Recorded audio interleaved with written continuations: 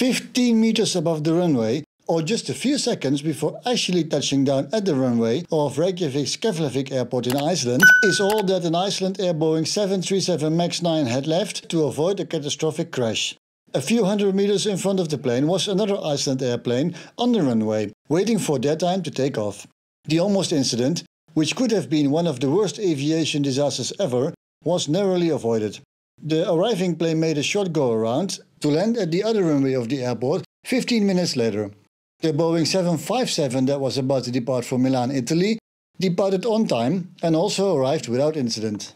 Isavia, the Icelandic air traffic control, has confirmed to the Icelandic Flugblogg that the incident had occurred, but declined any further comments on how this incident could happen.